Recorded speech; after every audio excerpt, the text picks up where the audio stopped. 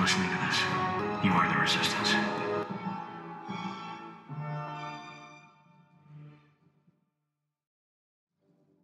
Prometheus, symbolism, myth, and religion.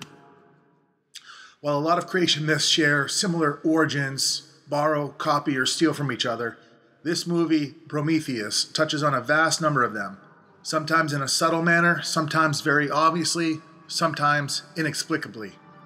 With the amount of research and money that goes into the making of these big budget blockbusters, it should go unsaid that the placement of seemingly insignificant props, words, scenes have not only an obvious significance, but often have an underlying hidden meaning. I hope that this video will help decipher some of those ideas and show that this work of fiction is actually based on real human constructions from ancient to modern. Referenced in this movie are the following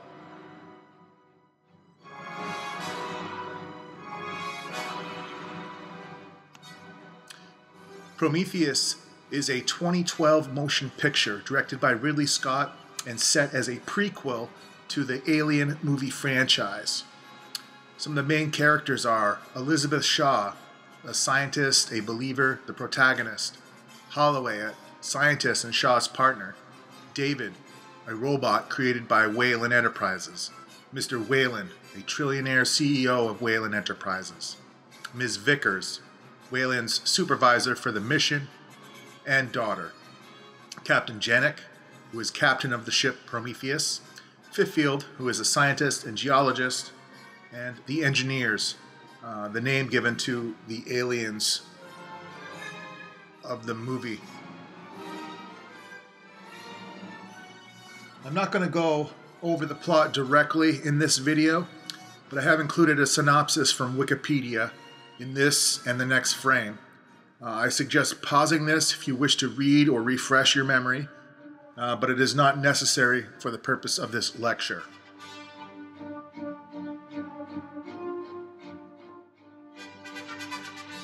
And again, I would pause here if you wish to read this. We're going to move on. With Prometheus, the Greek creation myth. Uh, Prometheus was a titan in Greek myth and was given the task of creating man. Prometheus shaped man out of mud, and Athena breathed life into his clay figure. He also most famously stole fire and returned it to mankind. In retribution, Zeus, the king of the gods, gave mankind woman. Pandora was her name, and her jar of ills uh, as a gift and he set Prometheus to eternal punishment by having his liver eaten by an eagle daily. In Hesiod's scriptures, Prometheus represents the descent of mankind from the communion with the gods into the present troublesome life. Karl Martin Dietz. Prometheus is the title of the movie and also the name of the spacecraft that travels to the interstellar destination. In a scene from the movie, the holograph of the old man, Mr. Weyland, says The Titan Prometheus wanted to give mankind equal footing with the gods, and for that he was cast out of Olympus. The time for his return has come. Which interestingly uh, draws focus to the fire giving Prometheus uh, myth, not the uh, man creator Prometheus myth, uh, which seems to predominate our uh, our understanding and schooling.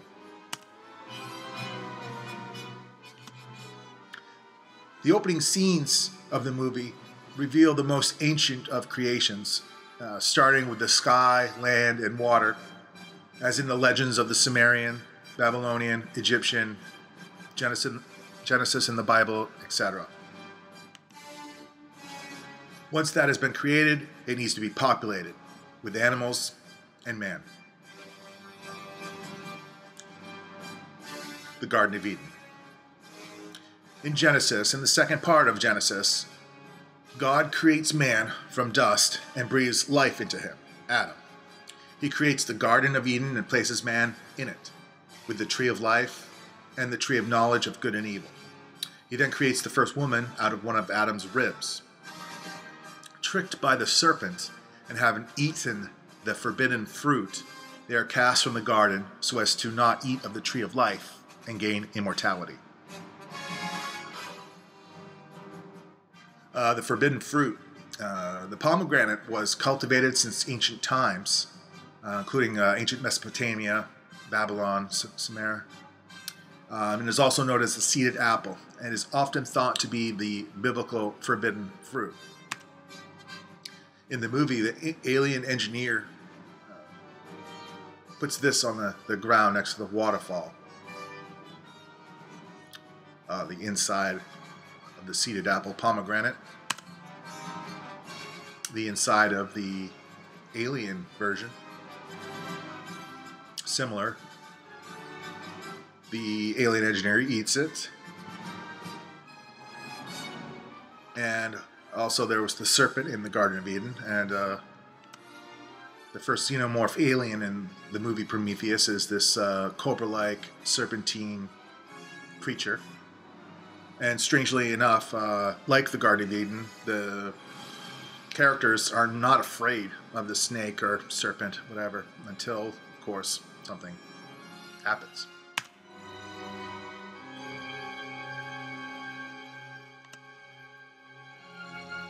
Next idea is the idea of panspermia. Now, panspermia is a Greek word that translates literally as seeds everywhere. Uh, the panspermia hypothesis states that the seeds of life exist all over the universe and can be propagated through space from one location to another. The idea of directed panspermia is the intentional spreading of the seeds of life to other planets by an advanced extraterrestrial civilization or the intentional spreading of the seeds of life from Earth to other planets by humans. This uh, was coined by Francis Crick of the DNA double helix discovering Watson and Crick fame. So after the uh, eating of the fruit, you see the uh, alien engineer starts to disintegrate, falls into the water, his DNA breaks apart, and then begins to reassemble new organisms, cells start to multiply, are seeded.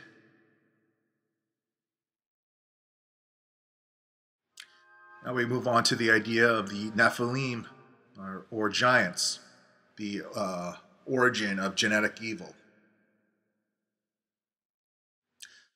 A Titan, by definition, was one of a family of giants in Greek mythology. Uh, Atlas was a Titan giant and he's known as holding up the uh, earth on his shoulders. So Prometheus was a tight, titan giant. The alien engineers are giants. Uh, the biblical Nephilim are giants. Uh, in the King James Bible, the Nephilim are replaced by giants. Uh, there were giants on the earth in those days, and also after that, when the sons of God came into the daughters of men, and they bare children to them. The same became mighty men which were of old, men of renown. And in Numbers 13:13, we saw the Nephilim there, the descendants of Anak, come from the Nephilim. We seemed like grasshoppers in our own eyes, and we looked the same to them. The Anakim were a formidable race of giant warlike people who occupied the lands of southern Palestine near Hebron before the arrival of the Israelites. The Anakim's ancestry has been traced back to Anak, the son of Arba, who at that time was regarded as the greatest man among the Anakim. The Hebrews thought them to be descendants of the Nephilim, a powerful race who dominated the pre flood world. So we have Anak, father to the Anakim, descended from the Nephilim. This will be interesting when we come to the Sumerian creation story. The book of Enoch, Nephilim, uh, chapter 7. It happened after the sons of men had multiplied in those days that daughters were born to them, elegant and beautiful. And when the angels, the watchers, the sons of heaven, beheld them, they became enamored of them, saying to each other, Come, let us select for ourselves wives from the progeny of men, and let us beget children. Then they took wives, each choosing for himself, whom they began to approach and with whom they cohabited, teaching them sorcery, incantations, and the dividing of roots and trees. And the woman, conceiving, brought forth giants. David and Goliath. We have the robot David 8. Um, and many Bible scholars speculate that the Anakim's descendants were the Philistine giants that David encountered, including Goliath of Gath. In this movie poster, I find it interesting that it says on the bottom, Don't run, pray.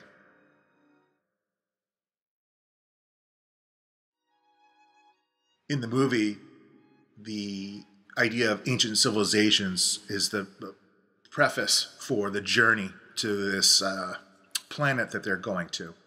Uh, based on the discovery, uh, most recent discovery in the movie of this uh, 35,000 year old cave painting, in which this person is pointing to a um, series of globes or circles, spheres in a certain pattern on the wall that they've seen repeated um, enough to know that uh, they're, thinking that this is a map, an invitation and a map. This actually is from the movie, but it's uh, borrowed from real cave paintings. And you'll see the uh, the horses on the side. Um, some of these older men are actually uh, Australian cave paintings, uh, similar to. Um, we have this cave painting um, that appears to depict two beings in protective suits holding strange in- implements, and that seems similar to what we see in the movie here as well. Uh, these kind of headgear and whatnot. Um, so, in the first ancient civilization um, that they talked about, and uh, is real life, we have uh, virtually every story that's in Genesis the flood story, the Adam and Eve story, they all have precedence with the ancient Sumerians. Uh, the Sumerian story, as told by translator Zecharia Sitchin, is that the Anunnaki came to Earth and created a primitive worker called an Adamu through genetic engineering. The Anunnaki created humans as a slave species. According to the Oxford Companion to World Mythology, the Anunnaki are the Sumerian deities of the old primordial line. They take their name from the old sky god, An, Anu. You saw earlier with the uh, Bible verses, we have a similarity with the Anak, Anakim, and now the Anunnaki, this Sumerian scroll. Um, on the far left, you'll see a star cluster, which is oftentimes considered to be um, the Pleiades star cluster, but very uh, akin to the um, idea of the movie in the cave painting as being these um, star star map kind of ideas. You also have a few different ideas in this. You have the people flying in this solar disk. You have this uh, Dagon and Tree of Life or machines.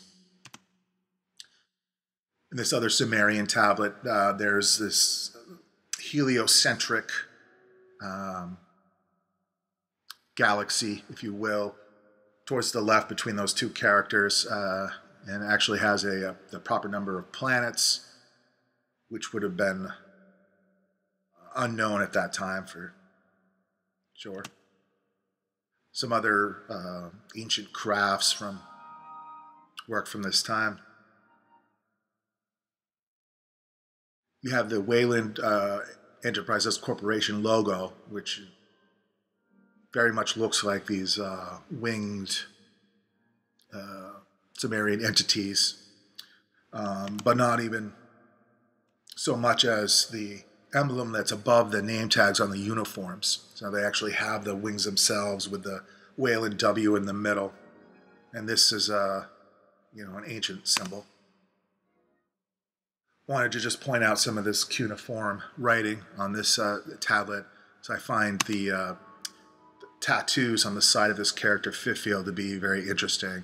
Uh, this character carries a lot of symbols and patches around that we'll get to. Um, so I don't uh, don't find it unusual that the tattoos would actually be some sort of reference to uh, ancient languages, whether it would be Iberian, Celtic, or Sumerian, but definitely um, some sort of language. Here you have a depiction of the Sumerian creation of man. And there's a couple of things to notice. You have the tree of life over there on the, the right side. Um, but specifically here, the jars uh, are of interest to the, uh, to the left, in which case it seems like they're giving this um, something from the jar to drink or some sort of vessel, cup from the person in the middle, which is interesting. So you'll notice in the movie, there's are these containers.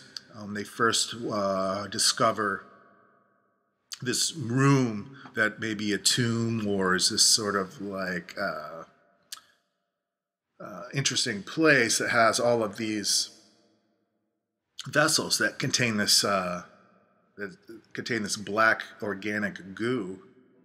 And what's interesting about that as well is something happens in this room where in the cut that they uh, first in the trailer as he's exploring behind this huge head that is in this room as well there's a cup on the altar if you will in front of this sculpture. And then in the theatrical cut they remove the cup and they put this green crystal in there. It's a, uh, kind of a you know uh, debate as to what this signifies. And my uh, speculation is that it could reference the emerald tablets, um, and by association, the alchemical vitriol. Now, the alchemists, uh, the medieval alchemists, believed that the emerald tablet, uh, a picture of which is there, described the action of seven chemical compounds known to the ancients as the arcana or great secrets.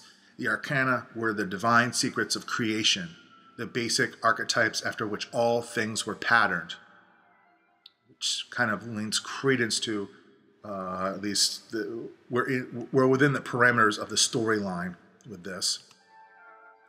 But also, uh, important to note that the most important compound, uh, the one in which all the other reactions took place, was vitriol. And it was distilled from an oily green substance that formed naturally from the weathering of sulfur bearing gravel. And after this green vitriol was collected, it was heated and broken down into iron compounds and sulfuric acid. The acid readily dissolves human tissue and is severely corrosive to most metals, although it has no effect on gold. So uh, we had the green oily substance with the fingers. Now we have um, definitely acid plays into the, the mythos of the uh, xenomorph alien creatures. Another interesting thing about vitriol, um, it also shows a tremendous thirst for water. If a flask of vitriol is allowed to stand open, it absorbs water vapor from the air and overflows its container. The sulfuric acid in vitriol is the agent of transformation in most alchemical experiments. In the movie, the and you'll see in the bottom here, you have the, the containers uh, to the left are whole. So the metal containers go from this pristine quality from when they enter the room to perspiring, kind of sweating as uh, water vapor is entering, entering into the air, and then they start to overflow the uh, containers. The black goo starts to overflow, similar to how uh, vitriol would, would act. Having removed their helmets, the characters realize that they have changed the atmosphere. Um, so they see it first on the murals on the wall, they start to deteriorate. And the containers behave similarly to, the, to what vitriol would as they start to overflow the containers and actually even create um, little ponds of this black goo by, uh, by the time the movie is over. David takes a drop of this uh, on his finger and says, Big things have small beginnings. Uh, you'll also notice he has the uh, Weyland logo embedded in his fingerprint. In ancient Babylon, the Babylonian creation myths, um, the Sumerian god Enki becomes Ea in the Akkadians and the Babylonians.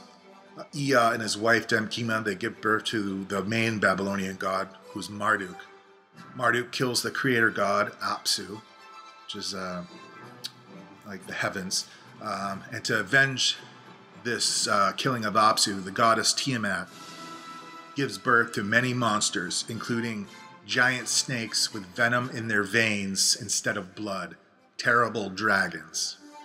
Again, this seems to fit in with the uh, xenomorph mythos. Now Marduk decides to perform miracles. Um, he outlines his plan to Ea. Blood will mass and cause bones to be. I will establish a savage. Man shall be his name. Verily, savage man I will create. He will be charged with the service of the gods that they might be at ease. Again, reminiscent of the uh, Sumerian uh, Anunnaki creating kind of a slave race. Um, but Ea suggests a slight alteration to the plan. They should destroy one of the rebel gods and create humans from him. So when Marduk asked the gods who incited uh, Tiamat to create all of those terrible dragons and start this war, they answered uh, Kingu. So Ea takes Kingu, cuts his arteries, and makes mankind from his blood. Uh, Ea then imposes the toil of the gods upon mankind, while Marduk divides the gods up and assigns them their various positions in heaven or earth. And in the movie, we have uh, when the engineer eats of the fruit, and then you know before he starts to disintegrate, you'll see his veins uh, kind of become um, blackened, and then they have this quick scene of this black bloodish liquid rushing down his arm. Um, in the ancient Egyptian creation myths, uh, they also used the winged solar disk, which we showed back as kind of part of the uh, Weyland logo and patches. Now, uh, for the Egyptians, uh, out of the chaotic water rose Atum, the sun god of Heliopolis, whom had created himself through thought and will. He first created a hill and would later be identified with the sun god Ra, and the hills would become pyramids in the movie, uh, when they first arrive to their destination, this is where they, they come upon, and uh, this is the hill that they're going to go to to try to find the beginnings.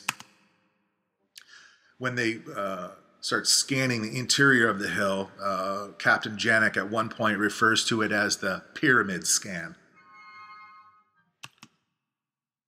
Uh, another quick frame in the movie kind of shows this. Um, skeletal mountain as a storm comes in, which reminds me of the Egyptian Sphinx and also has um, ties to genetic uh, engineering, possibly.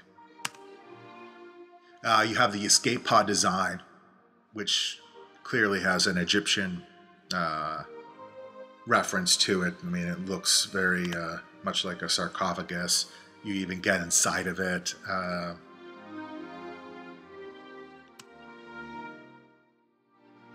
uh, the character uh, the one with the tattoos on his head, uh, asks, "Was this some kind of god? Something they worshipped?"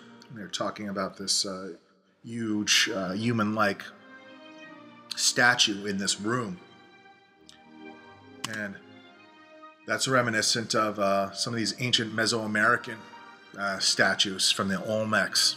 Uh, they have these colossal heads, uh, as well as uh, Easter Island, etc. They also say God doesn't build in straight lines as they're approaching this hill.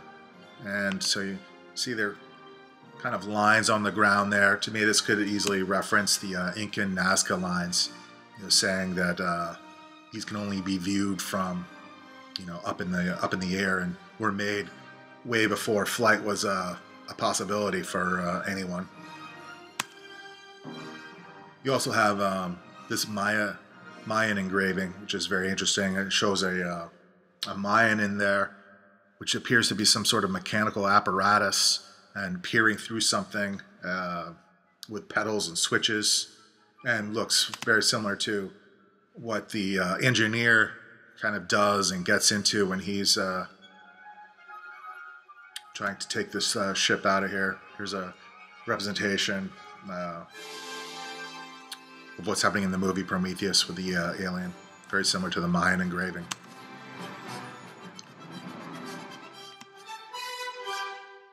Uh, put Zoroastrianism in here quickly because of just a couple of things that pops up that reminded me. Uh, first, there's definitely an ontology between uh, the symbol here on the bottom, how, how it developed through the uh, Sumerian, the Assyrian, the Egyptian.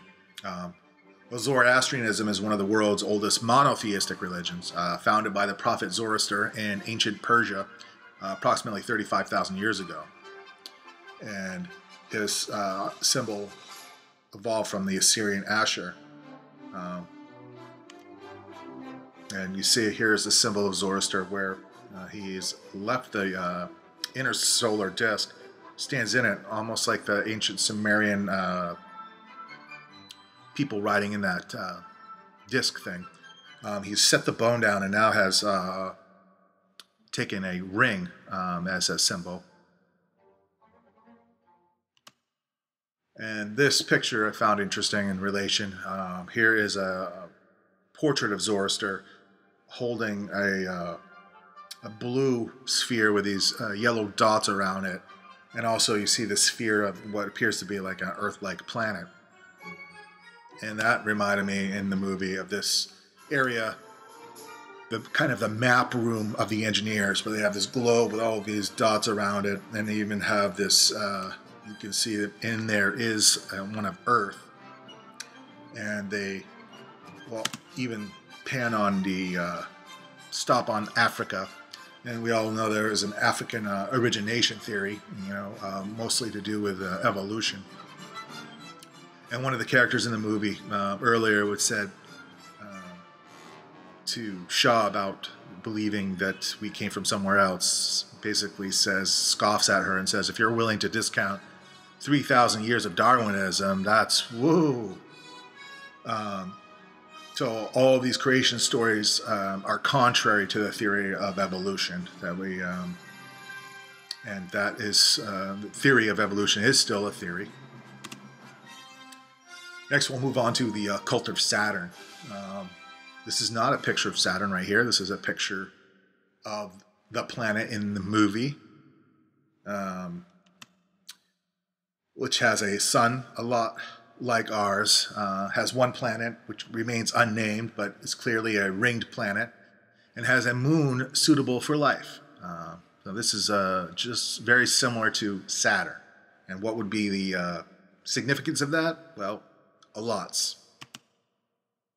Um, there's a lot of ancient Saturn uh, mythos as far back as the Sumerians and the Babylonians. We have uh, Osiris, Kronos, Brahma. You have the cult of Capitoline Hill, uh, human sacrifice, and you have uh, theories of changing positions in the solar system. Was was uh, Saturn once closer to us than it is currently is? Was Saturn once a brown dwarf star? Is uh, Saturn uh, considered to be the second sun, the black sun? These are all uh, ideas and theories that uh, do exist. And Saturn is symbolized by uh, lots of different uh, objects and ideas.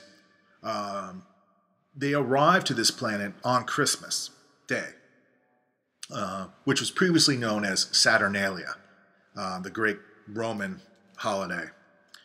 you also have the tree here which represents the tree of life from the ancient Sumerian, Babylonian, etc. Um, and you have the character Vickers state, she sees this, what the hell is that? So even today, there's focus on Saturn. We have the Cassini uh, satellite running over there, taking pictures. Uh, its moons are all interesting. There's possible signs of life on several of them, um, and there is the is the center of speculations about alien colonization.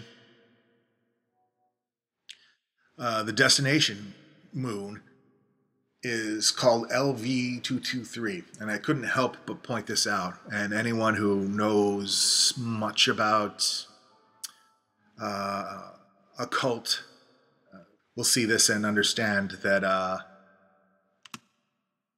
we have 322 in reverse, and that is the uh, secret number for the Skull and Bones Society at Yale. Here we have the character Fifield again wearing some interesting patches, and we'll show how those relate to Saturn. First of all, you have the Saturn moon, Mimas. I don't know if I'm pronouncing that correctly, but you might also recognize that as like the Death Star from Star Wars. But see his patch down there clearly mimics what would be the moon of Saturn. You also have this other patch, which is uh, black sun, the black sun rays and that's also a symbol of Saturn. We have this black sun here, which is the kind of the map room, height cryogenic. Um, Titan again. Titan is a moon of Saturn. It's also known as Saturn 6. So we have the Titans weaving their way through this movie. This trailer, what is this planet that is uh, kind of shadowing the Roman god Saturn uh, evolved from the king of the Greek Titans, Kronos. Kronos was uh, actually overthrown by Zeus and Prometheus. He becomes today's Grim Reaper. You notice the sickle and the hourglass. He's the creator of time. He has evolved from uh, Kronos to Saturn and all from the oldest god, Baal, here. It's also associated with the devouring of children and the Baphomet image. The ancient Greek god Pan is uh, also associated with Saturn, um, and this kind of becomes the basis for many representations of Satan, which comes from Saturn, or the devil. And you'll notice uh, the cloven feet, the horns, and the flute because the flute symbolizes Pan. And in Prometheus, the flute is a prop used to kind of start the alien spacecraft. So you have, uh, through this holograph, the aliens pick up the flute, play the flute, a few notes, and the machines turn on. Later, David would uh, mimic this to uh, presumably uh, get the ship going the Star of David is a symbol of Saturn. And the Star of David, of course, is the hexagonal. Uh, and that could be because of a hexagonal storm on the North Pole of Saturn. These are images from the Cassini. You have the Star of David with Pan in there. Also, the remember the Sumerian scroll, the, outlines around the uh, center sun uh, thing is six pointed hexagon. The cube is a symbol of Saturn uh, for some reason. They uh, use this cube to kind of project uh, an image when they're, I guess they're first talking about the ancient civilizations. And Holloway pulls out this cube and pushes a couple buttons on it. And remember, the punishment for Prometheus returning of the fire was uh, the creation of Pandora and her jar of ills, which has evolved into uh, Pandora's box. I have another cube uh, in the movie. This uh, virtual um, Saturn Satan um, in the Bible, Jesus tells his disciples, I saw Satan fall like lightning from heaven. And that's in Luke 10 18. Um, so lightning can symbolize um, Satan in this movie as they're approaching the um, alien ship. And you can see here on the bottom these uh, Nazca, quote unquote, Nazca lines. They say God doesn't work and build in straight lines. And you have lightning start uh, crashing Uh, you also have the idea that uh, Prometheus as the light bearer. Um, so, uh, an author of the 1952 literary psychological book Lucifer and Prometheus, R.J. Werblowsky, he sees the myth of figures such as Satan and Prometheus as expressing the shortcomings of the world as conceived by the human soul. Just drawing this connection between uh, Lucifer, not so much Satan, but Lucifer and the light bearer uh, and Prometheus himself. Also, um, Lucifer is known as uh, dawn, you know, symbolized by dawn, the morning star of dawn, and we see that um, in this scene from the movie. We also touch upon Rosicrucianism in this uh, movie. Not not in great depth, but we have to understand that uh, a couple things about Rosicrucianism. First, it's built on esoteric truths of the ancient past. Uh, we're kind of dealing with esoteric truths of the ancient past. You'll notice in this even a uh, depiction of the winged. Uh, you almost you have the winged solar disk kind of happening in this title. And for some reason, uh, one of the props they brought is a rose. Uh, a rose was frozen um, so that uh, Holloway could give it to the believer Shaw, who wears the cross. So you have the rose cross. Kind of foreshadows maybe his own death with this uh, scene and image with the rose. And it lends itself to the alchemical. Um, the scene with the rose, and they have incense burning, an upside down plant with old looking books underneath it. And again, remind you that uh, the Rosicrucianism is built on esoteric truths of the ancient past um, and in a very alchemical sense. So, just to throw that out there. Um, so, the Rosicrucian interpretation of the uh, book of Genesis is the in the beginning, God conceived the creation of the universe, and the thought directed the vibrations of the Spirit into all space which was void. God then ordained that the Spirit should have symbols through which it might manifest itself to all created things and send forth its vibrations, and they would be for signs and for seasons, by which time and life might be measured. And the Spirit created man in God's cosmic image from the animal cells in the earth. Both positive and negative, male and female, were the creations of cosmic expression. I'm not going to really get too much into that. Paradise, the name of the uh, follow up movie to Prometheus, coming in, uh, like April 3rd, 2016. About a year. Uh, you have the Christian narrative of uh, the movie. We have this character, Dr. Elizabeth Shaw, who from the very beginning uh, is made clear is uh, Christian. She wears this cross which was um, given to her from her father, right? So she's the only movie character to have an apparent religious belief, and we're shown that very clearly. She's also the only one to survive the movie, along with the robot David. Um, in a dream flashback, Shaw's father tells her that everyone has their own word for the place after death um, heaven, paradise. Uh, when pushed further, Shaw's father responds, It's what I choose to believe. And Shaw repeats this phrase when questioned by crew members about her beliefs of the map um, at the beginning of the movie, as opposed to believing in Darwinism. She says, It's what I choose to believe.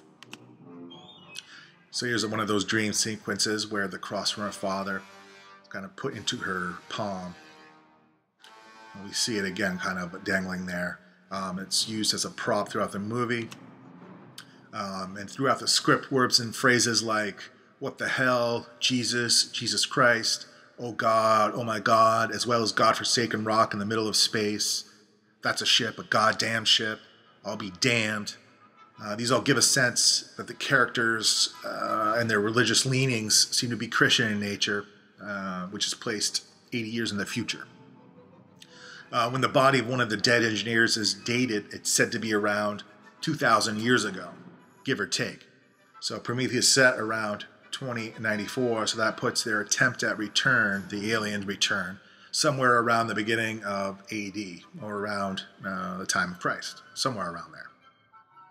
However, uh, it is only Shaw that is a true believer out of the group, and she's challenged, maybe even tempted into losing her faith. This scene as they exit the uh, cryo uh, cryo chambers at the beginning reminded me uh, of the crucifix. Immediately, uh, they eat and drink. This machine in the middle kind of uh, dispenses liquids, and the drink is uh, that's coming out that they show is this red and pours thicker than water, but isn't like uh, puree or anything. So, is it blood? I don't know. Uh, Shaw says, I'll try to keep my feet on the ground.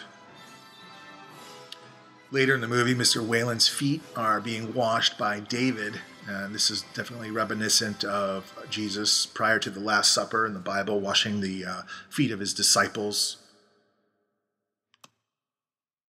Um, those that sacrifice themselves in the movie put out their arms.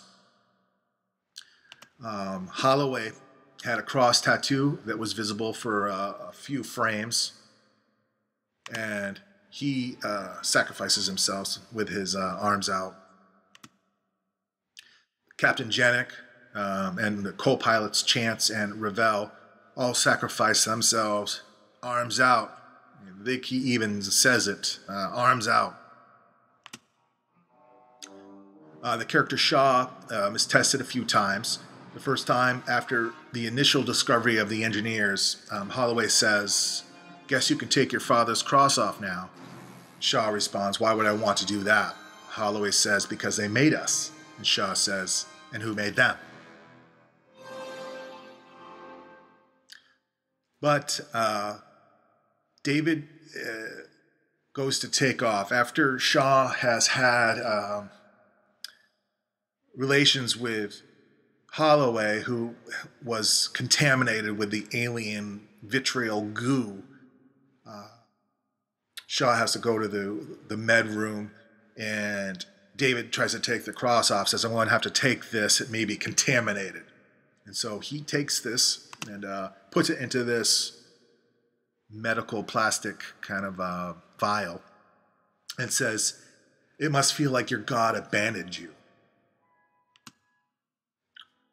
Uh, we also have, for seemingly no plot reason, we've learned that Dr. Shaw cannot have children, that she's sterile. Yet, she becomes impregnated with Holloway's mutated vitriol, if you will. Um, is this a hint at some sort of immaculate conception? Uh, towards the end of the movie, um, Shaw wishes to reclaim her lost cross so she says to David, Where's my cross? And he responds, Even after all this, you still believe, don't you? And in the uh, the room that had the f- containers with the black goo, um, the big Olmec looking head on the back was this uh, sculpture. And to me, kind of uh, looks reminiscent of an alien crucifixion. I don't know even in this movie poster. And Lovecraft and the Cult of Cthulhu. Uh, this might be way out there for some, but I couldn't help uh, make this connection based on a few things, uh, most notably the creature effects at the end of the movie.